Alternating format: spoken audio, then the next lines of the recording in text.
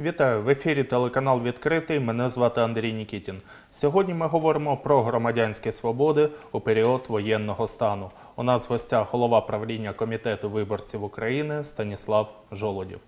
Станіславе, вітаю вас у нашій студії. Е, Власне, перше, з чого я хотів би почати нашу розмову, це е, призупинення діяльності політичних партій в Україні. Дехто називає це забороною, це не зовсім вірно. Е, Згідно того указу президента, який був опублікований ще 19 березня, але от новина останніх буквально часів, останнього часу, останньої години, власне, у Дніпрі, у міській раді Дніпра, фракція ОПЗЖ припинила своє існування. Е, До цього була заява про розпуск партії. Поки що там не зрозумілий цей механізм, як це буде. Тобто, це ж через мін'юст вирішується. От е, ваша загалом було призупинена діяльність понад е, 10 політичних партій в Україні. Е, Як голови комітету виборців України, ваша оцінка цього указу?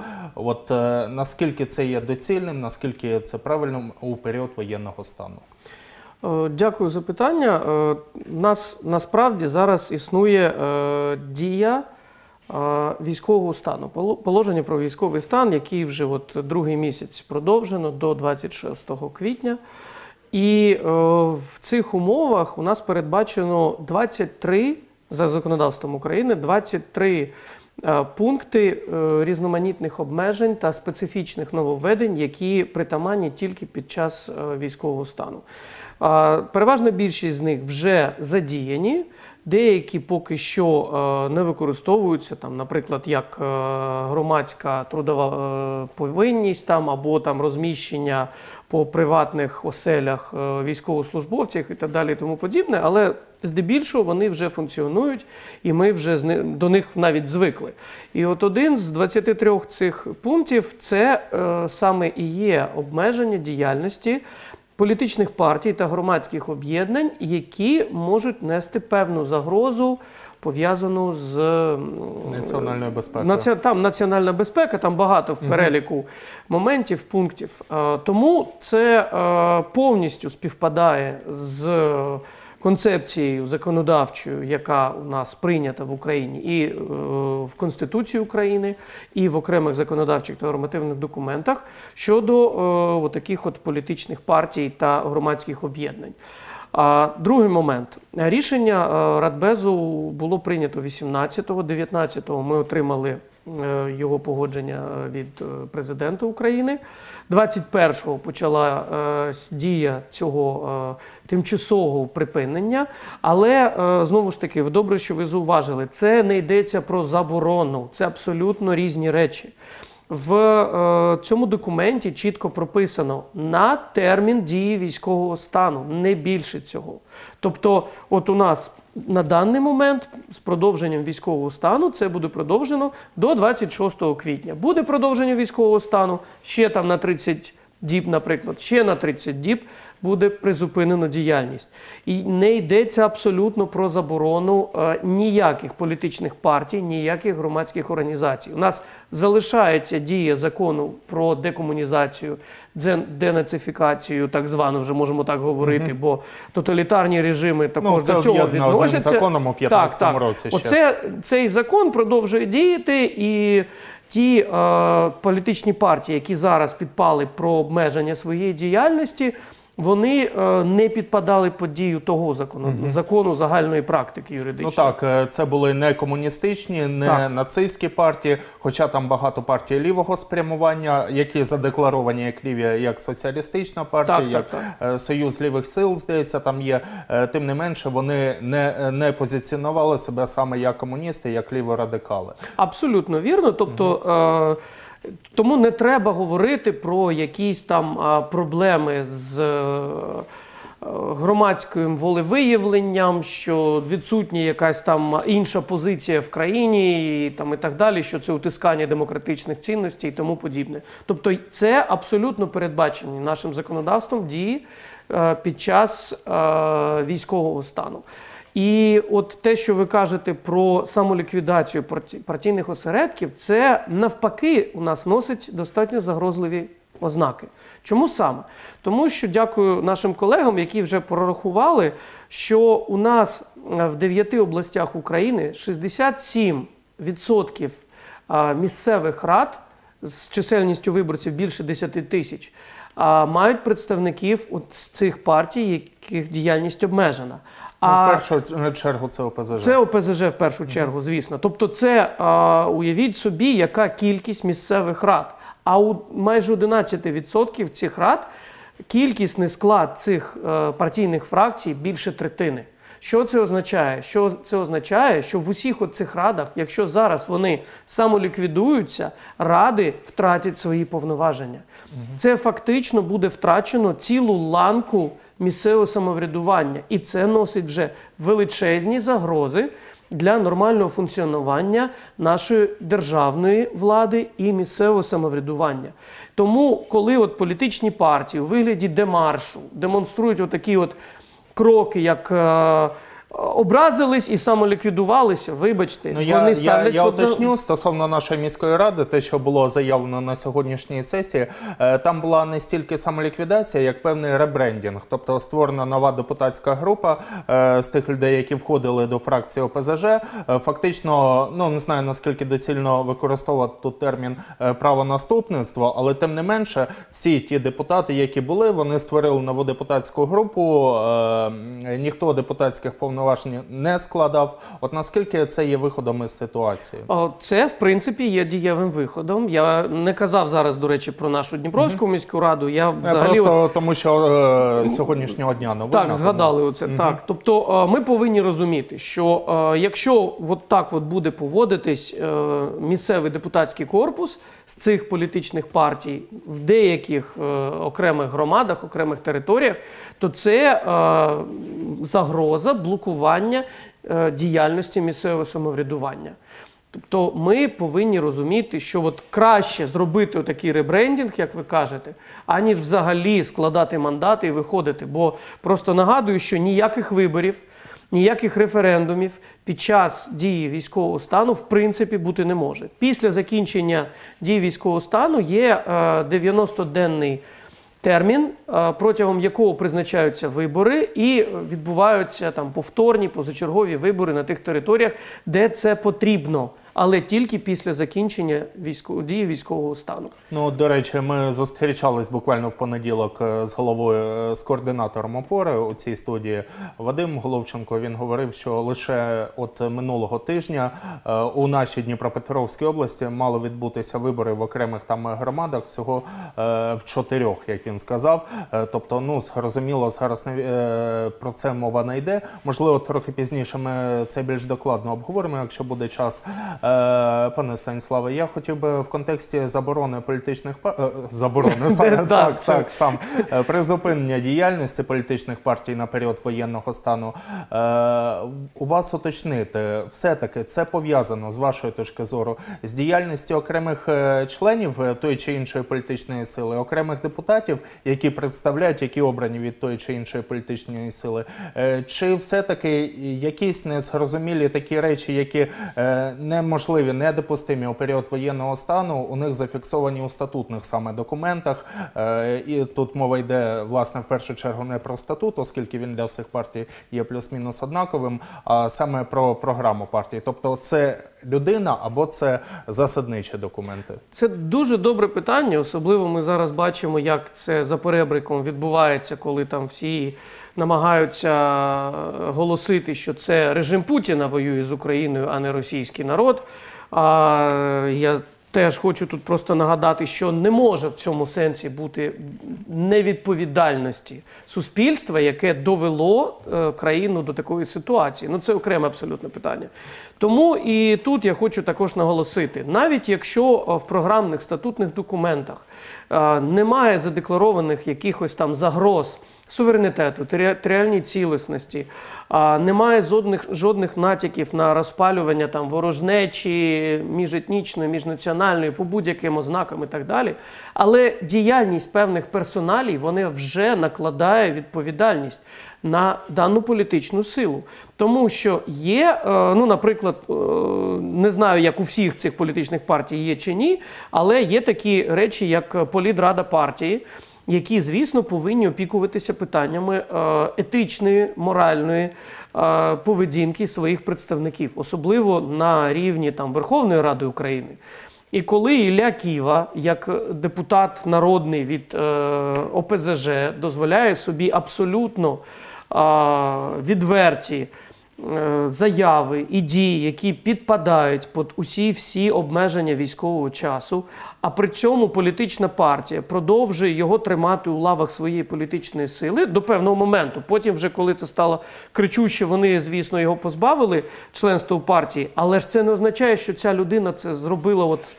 Тільки в останній період він завжди таким був. Він обирався на цих гаслах від даної політичної сили. Хоча дивна також трансформація, якщо ми про цього конкретного політика говоримо, можна згадати його позицію, скажімо, у 14-15 роках і зараз. Ну, як виявляється, таке також буває. Ну, у нас багато зараз відбувається перефарбувань в той чи інший бік. Це залежить від того, е, що людина відчуває всередині. І так само, як в 14-му, 15-му та навіть у 19-му році.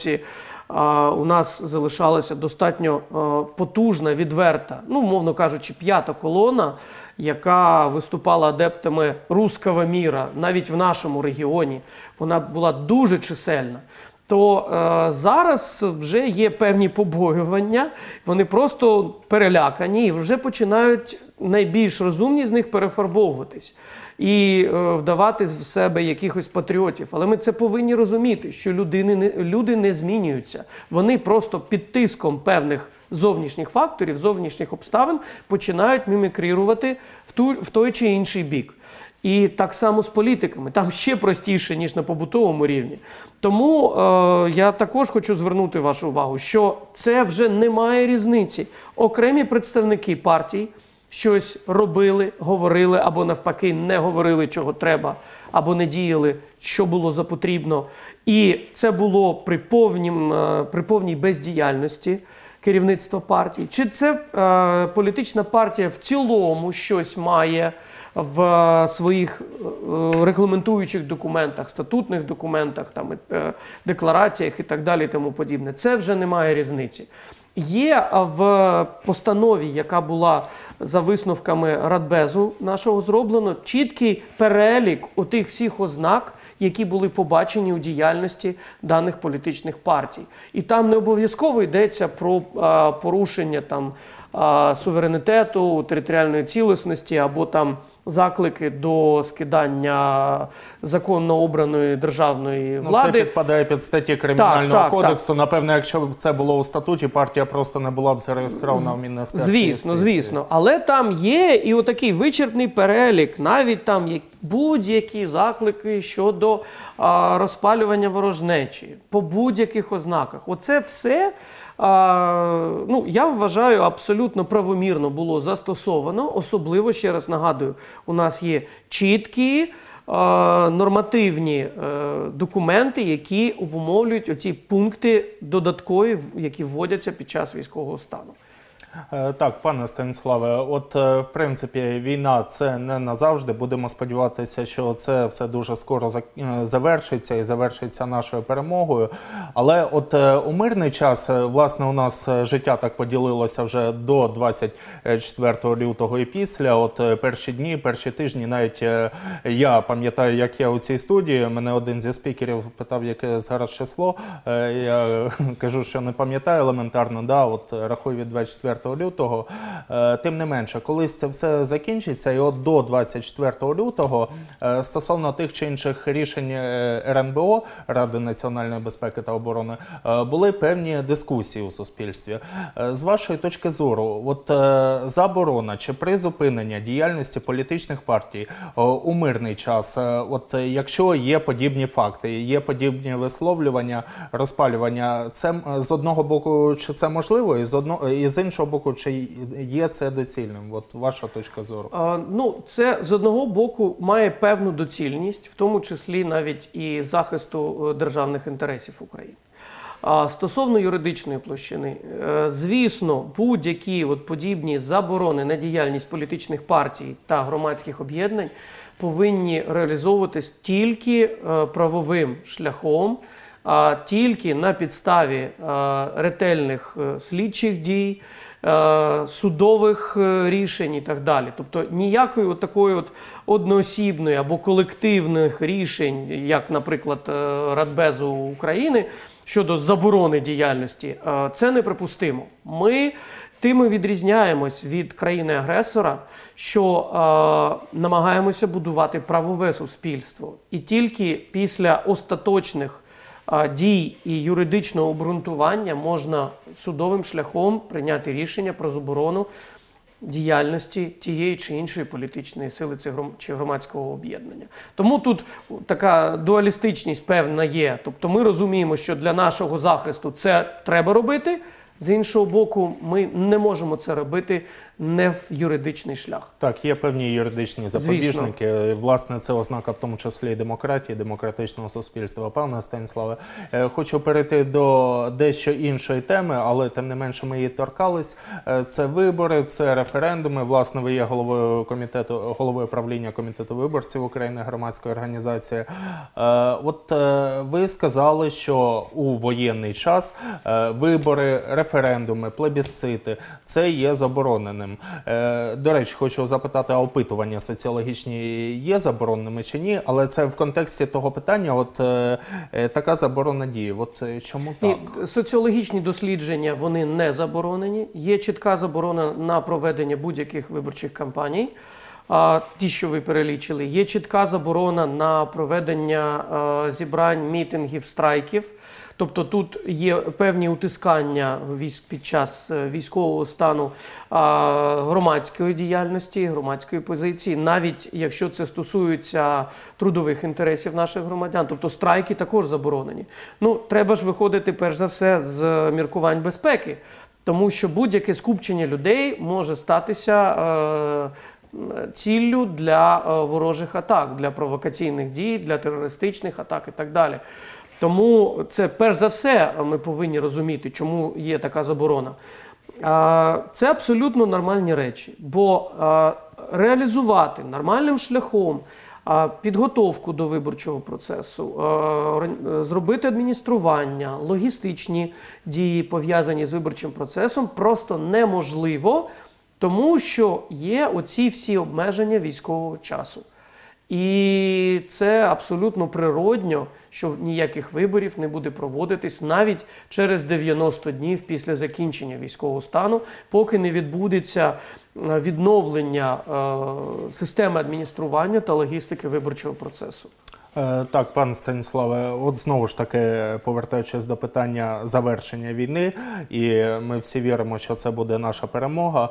От е, є території, є Луганська область, є Донецька область, є е, Автономна Республіка Крим, як це визначено у нашій конституції. От в першу чергу я хочу запитати стосовно Донецької Луганської областей. В принципі, до 24 е, лютого бул- було відповідне рішення російського диктатора Путіна щодо визнання е, так званих ЛДНР, е, тих організацій, які у нас вважаються, які є за визначенням терористичними. От е, е, якщо відбувається їх е, деокупація на цих територіях, е, чи можливо проведення у, у тій чи іншій мірі виборів? Якщо, якщо це буде можливо, то в якій формі, які організації можуть бути представлені? Виключно українські партії. От як ви це бачите? Зрозуміло, що це ми говоримо на перспективу, але тим не менше, мені зараз здається, що саме зараз важливо говорити все таки про ті питання, е, які постануть після того, як війна завершиться. Е, Дякую за запитання. Безумовно, ми всі не просто віримо, ми знаємо, що перемога буде за нами в будь-якому випадку. Питання, коли е, і якою ціною, на жаль, ну це також вони відкриті. І добре, що ми вже е, ставимо питання стосовно тих територій, які були або анексовані, або тимчасово окуповані з 2014 року.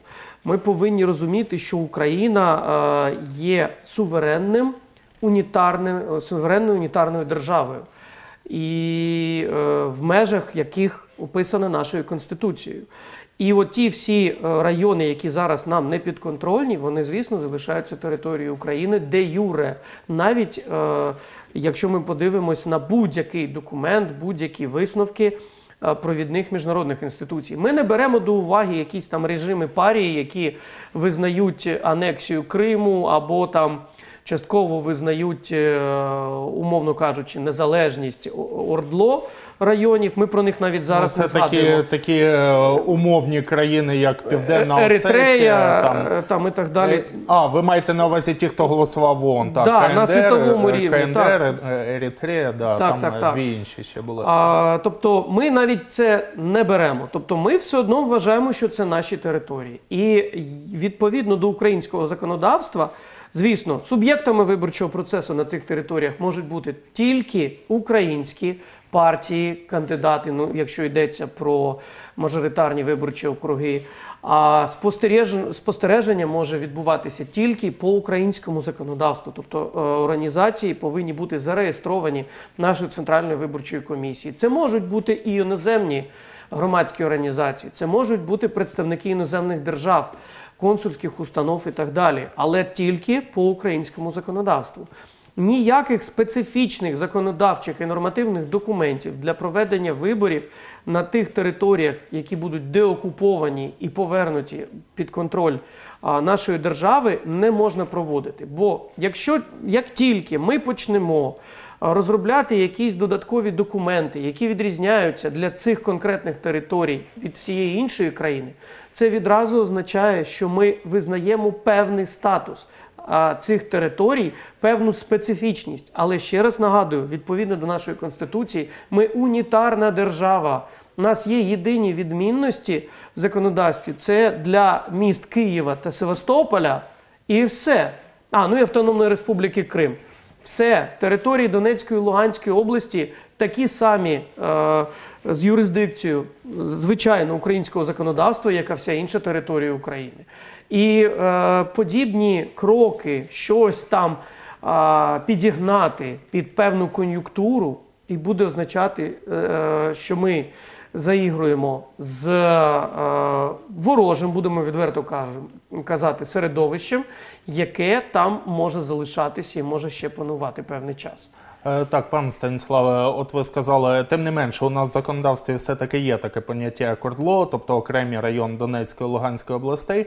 Але от е, винесемо навіть це питання за дужки. Е, От е, десь близько третини Луганської, близько третини Донецької області, е, 8 років, от на сьогодні вже 8 років, як знаходяться під окупацією. Сподіваємося, що це буде останній рік, і вони таки повернуться в Україну.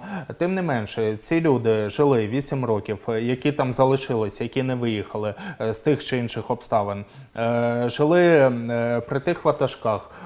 Вони жили при тих парадигмах, при тому телебаченні, при тому інформаційному полі. От на практиці, як ви бачите е, поширення, скажімо, не українського законодавства, можливо, дещо простіше, а от е, саме українського політичного поля, тобто приход туди е, політичних партій, які є у нас в країні. Тобто на практиці, як це можливо? Це якісь люди, скажімо, з тої ж Донецької області мають там, скажімо, з Краматорська, зі Слав'янська приїхати до Донецька, чи на місці там е, шукати людей, створювати ці осередки політичних структур? От е, просто ваше бачення, як це має бути? Суто технічно ви маєте на увазі, Так, як так, це безумовно. реалізувати. А це е, у нас є вже добрі приклади, як це було реалізовано в тому самому Слов'янську. Але тобто після його- Слов'янськ е, буквально там три місяці. Я розумію, але, трохи різні. е, але середовище, воно там таке саме майже, як і в тих е, районах, які тимчасово окуповані. Тобто, давайте не будемо е, е, поділяти мешканців Донецької області. Ну, якщо ми будемо казати етнічно, то там є у нас Приазов'я, є центральний Донбас, який і є східна частина, е, західна, вибачаюсь, частина Донецької той самої області. Вони відрізняються дещо суттєво е, між собою по етнічному складу, по ментальності навіть. Але це все одно е, наші люди. І е, ми вже маємо приклади, як можна було реалізувати навіть в частині центрального Донбасу. Слав'янськ, Краматорськ, який також був певний час тимчасово окупований, виборчих кампаній. Стосовно тих людей, які 8 років знаходяться там під впливом е, пропагандистським, а, я просто хочу вас запевнити, що ці люди до цього більше 20 років жили в Україні, навіть е, незважаючи на їх орієнтацію на е, російський медіапростір.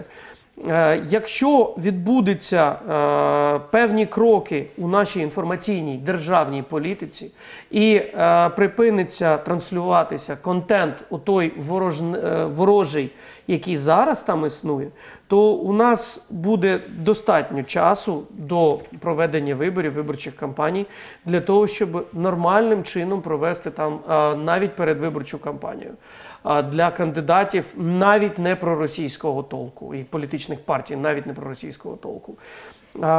Бо е, технічно це буде простіше реалізувати. Там все одно, я впевнений, будуть певні військово-громадські адміністрації продовжувати своє існування, і е, адміністрування виборчого процесу буде організоване. А от в плані те, що ви кажете, інформаційного е, інформаційного середовища. Також е, ну, не так багато треба часу, якщо е, припинити трансляцію цих от, е, зомбоканалів, е, зомбоінформаційних джерел, то в принципі я дуже сподіваюся, що ми зможемо донести до людей правильну інформацію, правильний контекст і щось зрушити у них. Тим більше, що ті, хто зараз, ви дуже добре що зауважили, ті, хто зараз там залишились. А, вони, е, їх можна поділити на дві категорії: це або такі, скажімо, вперті патріоти Донбасу, які знову ж будуть намагатися під час Ну, деокупації... та фраза Донбас порожняк не гонін, да, і Да, таке от інше. Вони будуть намагатися залишити цю територію. І там друга категорія, яка залишилась, це наші звичайні пересічні громадяни, громадяни, які просто не могли кинути свої оселі, свої домівки, які а, достатньо пасивні в своїй політичній позиції, які просто займаються якимись там справами а, повсякденними, і е, для них не настільки принципово яка країна там буде панувати на цій території. Тобто е, найбільш активні вони, скоріше за все, залишать ці території. Так само і з Кримом буде. Абсолютно, ми вже побачили перші хвилі намагань а, залишити Кримський півострів, а, бо там з наших залишило людей проукраїнсько налаштованих приблизно а, 400 до півмільйона. Але приблизно така сама кількість заїхала з території е, материкової е, Російської Федерації. Тобто ця ротація відбувається. буквально. Да, тому, в принципі, я не бачу якихось перешкод. Якщо протягом року ми там, на деокупованих територіях, будемо також проводити виборчі кампанії. Пане Станіславе, дякую вам за цю розмову. Нагадаю, сьогодні ми спілкувалися з головою правління комітету виборців України Станіславом Жолудєвим. На все добре.